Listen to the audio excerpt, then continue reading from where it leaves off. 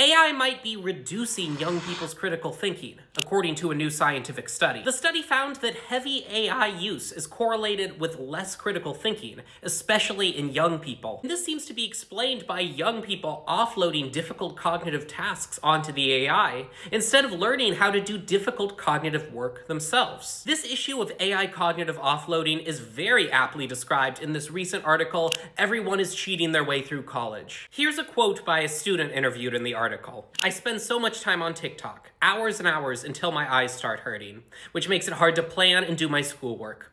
With ChatGPT, I can write an essay in two hours that normally takes 12. This really captures cognitive offloading and all the issues we're having in schools due to AI and technology. To make things worse, there aren't really reliable AI writing detectors, meaning that it's nearly impossible to tell if a student is using AI if they're using it well, which means that we're going to have to radically rethink how we do education in the age of AI. Now, there are plenty of good ways to use AI for education. For instance, some studies have shown that AI tutoring can be remarkably effective, but it seems like schools have yet to adapt to this new technology, and on top of that, are still recovering from post-COVID test score declines and distracting technologies like social media.